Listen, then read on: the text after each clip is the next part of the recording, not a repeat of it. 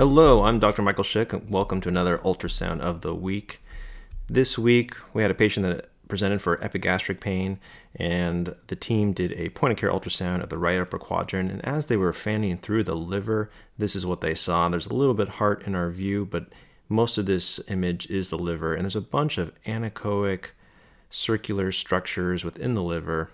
They appear to be cysts within the liver because they're anechoic. I don't see many echoes within them. I don't see septations or any complexity.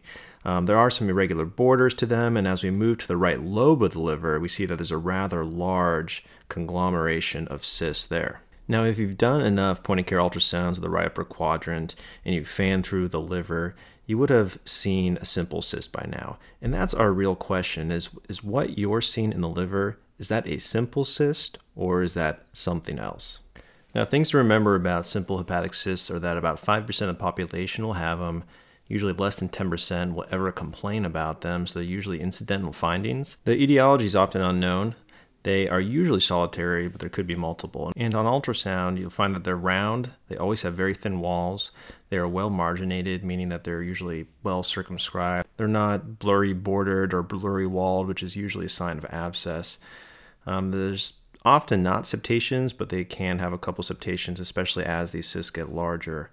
And there could be a small amount of debris within these simple cysts, but there's often not. And there should be no vascularity within the cyst. If it's not a simple cyst, all the other etiologies are bad. It can be an abscess, polycystic liver disease, a large complex cyst, which could represent a mass. You could have multiple masses within, within the liver with central necrosis looking like cysts.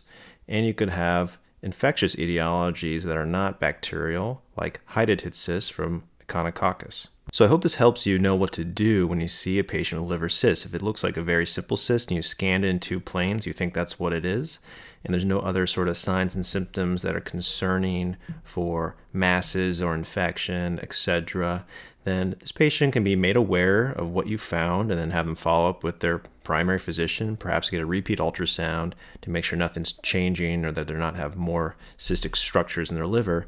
Everyone else is going to need further imaging, further diagnostics, and depending on the clinical scenario, that may mean now or that may mean as an outpatient.